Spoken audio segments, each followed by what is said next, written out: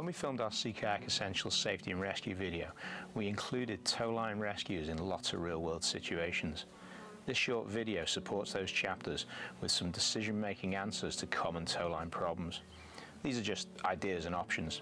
The best thing we can do is get out and experiment to find our own reliable solutions.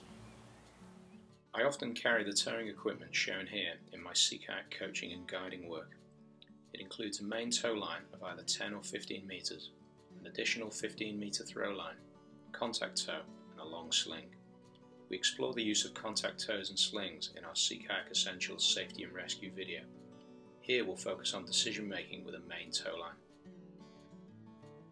I need my tow line to be easily accessible, simple to use, reliable and quick to pack away.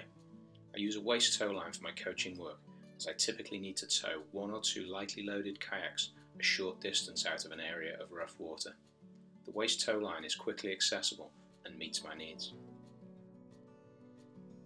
I make a decision between a 10 or a 15 metre line according to the conditions and situations I am likely to face.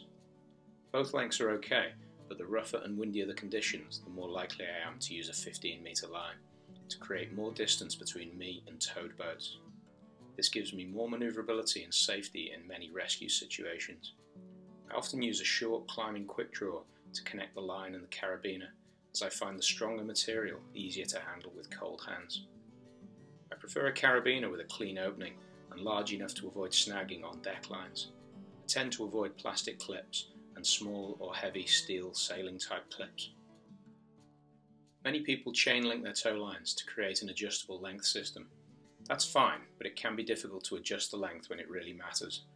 If you choose this approach, make sure your system is reliable in all situations. A chain linked rope can snag more easily on kayak parts, and a fully chain linked 15 metres reduces to only 5 metres, an unhelpful length in many rescues. An adjustable system will permit you to choose your preferred length. Again, remember that this system is more complex and prone to failure than a simple length of tow line. It's a good idea to practice packing the tow line and to make sure that you can do this easily while afloat.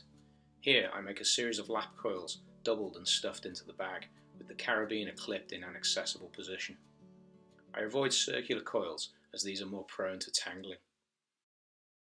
If time is short when clipping two kayaks, I often use a simple fast method, passing the carabiner under one deck line and clipping to another deck line on the second kayak. I don't worry about which kayak I clip first or use a special releasable system. I simply clip the kayaks as shown and improve the situation by towing the rafted kayaks to a better, safer location. Once I've created more space and time, I can modify the setup if necessary. I also sometimes clip a set of deck lines closer to the kayak cockpits for easier releasability. Rescuers frequently struggle with the tow line snagging inside the bag, making it difficult to manoeuvre and to get away from the rafted kayaks. To avoid this problem, I often open the towline bag and dump the rope into the water next to my kayak. Sometimes rescuers choose to halve the length of their towline by doubling the rope back to their waist belt. If doing this, Passing the rope directly around the deck line increases friction and makes the rope more likely to tangle. If I add an extra carabiner into the system, I can reduce the friction and eliminate the problem. I also retain some releasability for the towed paddlers. I carry a 15 metre throw line for various reasons. If we have to do any rocky landings, it's very useful to have both a tow line and a throw line for different tasks. I can also use the throw line to extend the length of my main tow line if towing downwind in bigger conditions.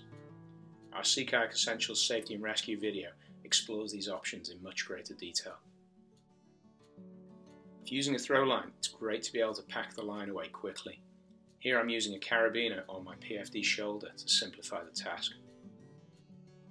So that's it, a few tips on tow line decision making. I try to keep my solutions as simple as possible, to be really familiar with my kit and to regularly practice my skills. If you like these short decision making videos, you can buy our Sea Kayak Essentials DVDs and downloads at our website, or access all our coaching resources with Essential membership for only £3 a month.